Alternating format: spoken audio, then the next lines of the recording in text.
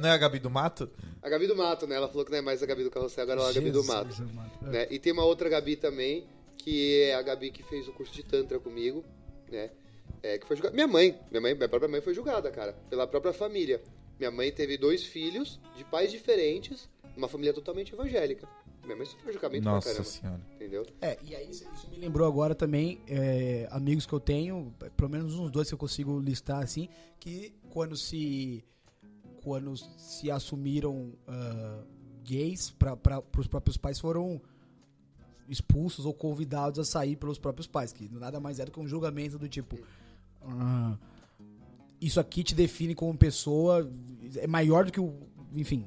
Não, então a falar? gente já tá indo um ponto acima que é quando o julgamento vira um preconceito. É, nesse caso, nesse ou, caso, ou o nesse- preconceito. nesse caso ele já nasce com um preconceito, É, né? então. É, como a da mãe solteira e como o, de- nesses casos de preconceito familiar, etc. Então aí a gente tem que distinguir o que é uma opinião, o que é um, um preconceito e o que é um julgamento. Então, Porque. então, mas, mas veja bem, vou Ah, contar uma história da, lá. da a Gabi, que inclusive e- que veio até a sua casa esse final de semana. Ah, tá. E, e ela teve um. Ela vai saber quem é, espero que ela me perdoe por isso. Mas bom, né? Ela teve um, um, um namorado uma vez, muitos anos já, e ela tava no cursinho. Sim. E os pais da Gabi não são exatamente os pais mais progressistas do mundo. E aí. Pra, pra dizer, pra ficar nessa. Pra não julgá-los. E aí, essa Gabi tava namorando, ou se relacionando. Nem namorando, mas se relacionando com um rapaz do cursinho. E, por outras vias, descobriram que esse rapaz fumava maconha. E aí. é, isso não cabendo na cabeça dos pais da Gabi, os pais da Gabi acharam que era uma boa ideia tirá-la do cursinho já no segundo semestre. Falou assim, ó, você vai sair do cursinho tal, a gente vai te matricular no cursinho tal. Não importa se isso vai terminar, é, vai, é, é, tipo, Te atrapalhar. atrapalhar seu planos. desempenho, seus planos pro vestibular, foda-se. É tipo, o mais importante é te tirar de longe desse maconheiro.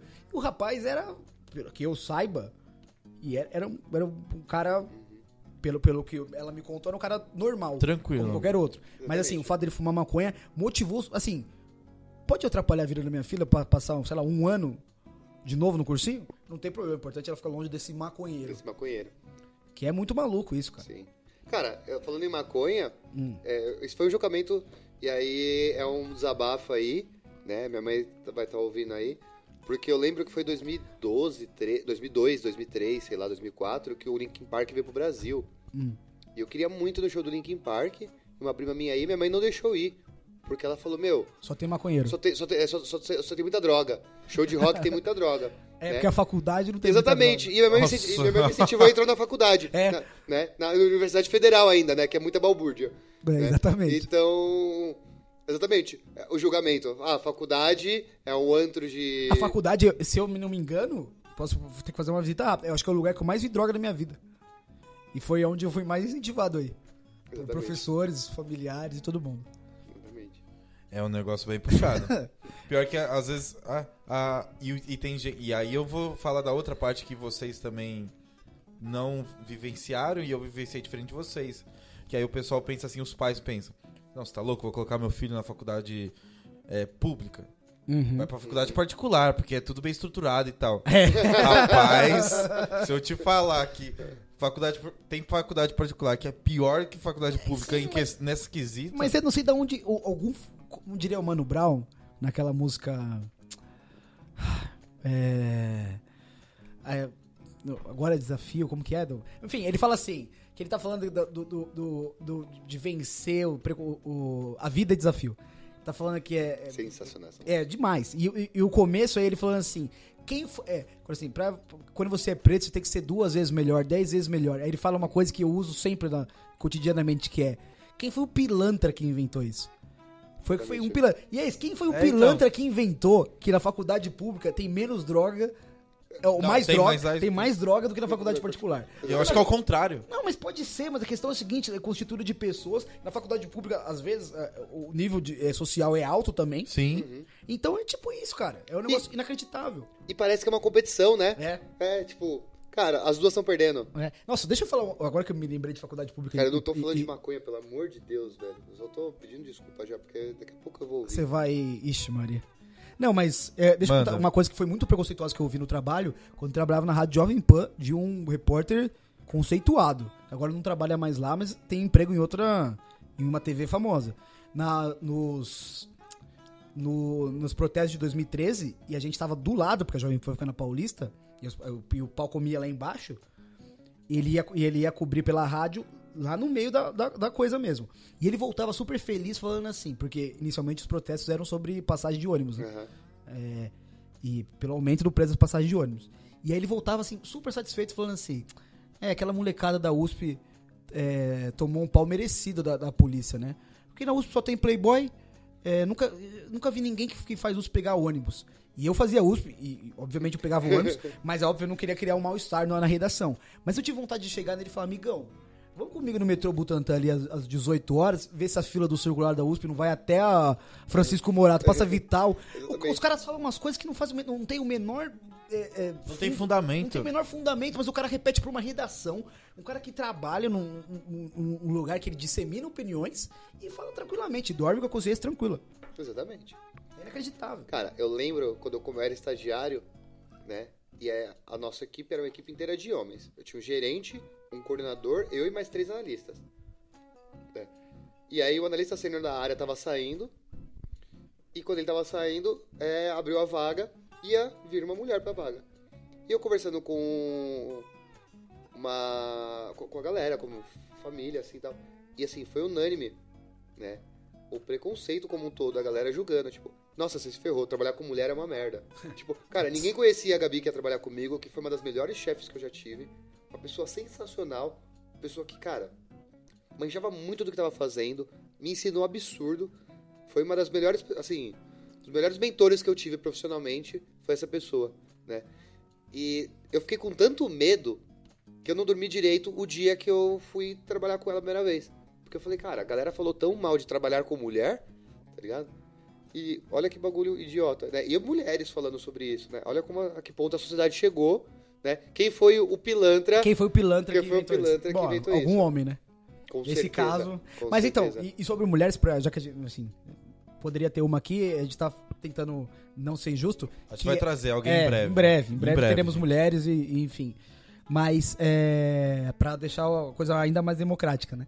O papo. Mas é, a gente não pode passar um, um- um episódio sobre julgamento sem falar aquele que é um dos primeiros que você é, é ensinado na escola, que é o seguinte: você, nós três homens, Uhum. podemos beijar e ficar com quantas mulheres nós quisermos, que inclusive Ah, rende status. Uhum. Se- Pegador. Cara é fodão. O Aham. cara que, mano, vem comigo que Exatamente. Quero ser amigo do. Ainda tem aquela Transalino. história. É, é. Não, tem aquela história.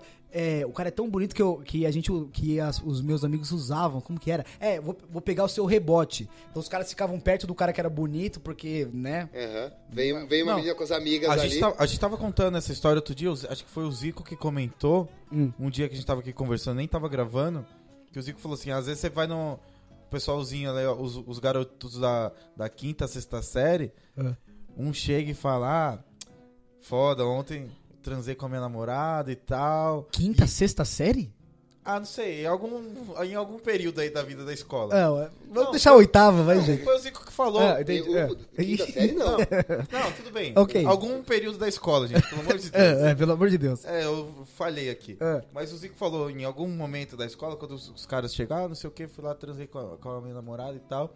E aí todos os outros falam que transaram. Ah, sim, que não, que não existe, que não existe virgem na escola. Não existe, exato, não existe. Não existe exato. virgem Sabe de forma Porque tem nenhuma. medo de julgamento. É, exatamente, que o cara, o Exatamente. cara, ele pode até não ser o transalino, mas ele também não quer ser o idiota. entendeu? Exatamente. E aí, é isso. Só é- que aí, na, afinal, tipo, sei lá, não existe, eu não sei estatísticas, mas sei lá, só um cara deve ter transado Ah, e todos os outros provavelmente. mentiram. É, Não, o e Máximo- provavelmente foi uma Porque não bosta. quer ser julgado. E provavelmente foi uma bosta ele tava falando que era ótimo pros amigos dele, Exatamente. porque- É porque a primeira É, vez é, é. horrível. Enfim, mas só pra gente concluir a- o, o julgamento inicial, era aquela história de tipo, o cara que pega todos é fudidão e a mina que pega todos é o Puta, quê? badia. É É, é, é, é é o, é o- o senso popular. Senso é isso, popular. Né?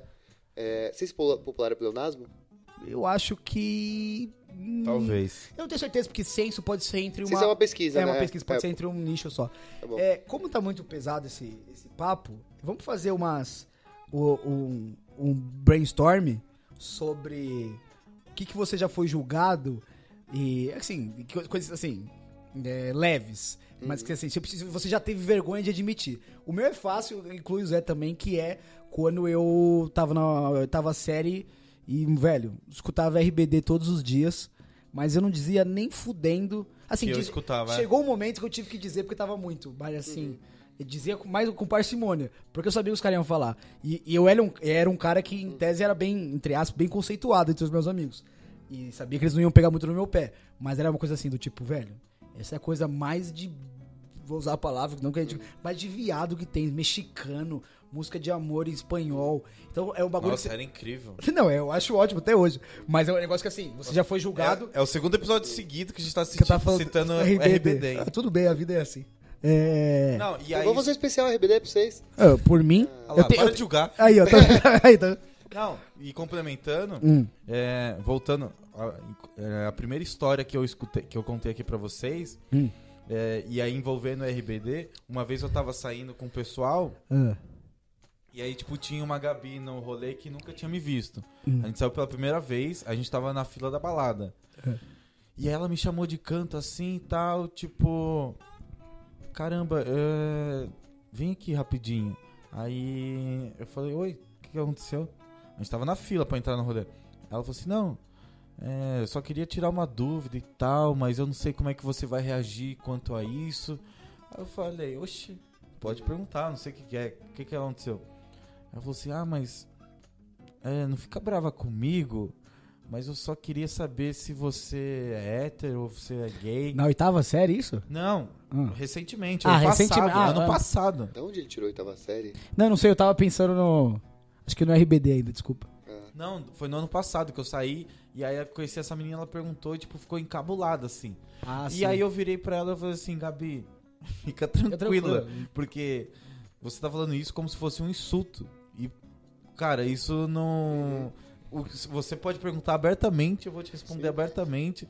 Não tenho vergonha e não se sinta pressionada a querer saber isso porque sim, Cara, então, de- quer dizer- deveria ser uma pergunta tão tranquila De- quanto perguntar o seu exato. time de futebol. É exato. Né? Exato, é, tipo, Não. ela, ela ficou com vergonha de perguntar porque ela não conheceu na hora e ela não sabia qual que era. Ela falou assim: Ah, mas é porque eu achei que você fosse e tal, eu só queria tirar essa dúvida. Eu falei assim: Você não tá me insultando, eu não tô me sentindo insultado.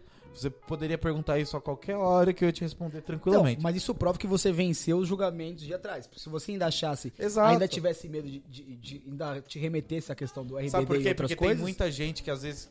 Porque ela talvez já tenha perguntado pra alguém. Isso, isso ofendeu. E o cara falou: Você tá louca? Sim, entendi. Não, E, com tipo, certeza é isso. É, e ela foi reprimida e ela tem, às vezes, vergonha de perguntar a orientação Uhum. sexual das pessoas. Vamos lá, eu tenho, eu tenho uma pergunta que vamos ver se você vai lembrar.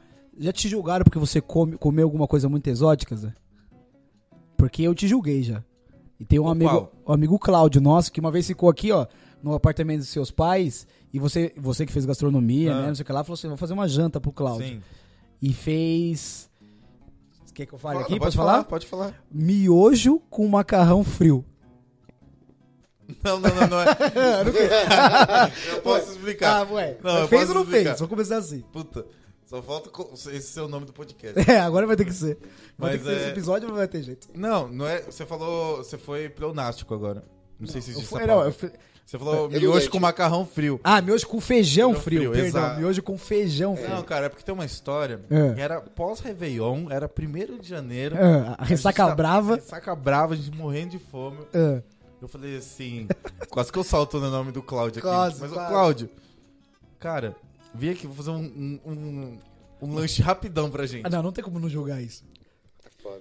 Eu falei assim, mano, um negócio rápido, prático e é super gostoso. Super gostoso. Ele ficou me olhando. Nossa, o que ele me julgou com os olhos, ele não precisou nem falar nada. É lógico, né, velho? Tá na Mas casa aí, de um cara que se mano, formado em gastronomia. Eu fiz um miojão de caldo de galinha. Ah, Aí peguei aquele feijão só cozido que tava na geladeira, que minha mãe às vezes ela cozinhava, E o deixava. feijão e deixava lá, ela só ia tipo, mas geladão. geladão, na geladeira. Não tava nem temperado. Puta merda. Aí eu peguei uma conchada desse feijão. Eu tirei o, o feijão do pote, É. tirei uma conchada do feijão e joguei em cima do miojo, assim. Não, eu julguei. Eu não Nossa. consigo não julgar. Eu falei assim, eu sei que você tá me julgando, mas experimenta. Eu só pus um, um pouquinho, uma pitadinha de sal por cima. Ah, nossa.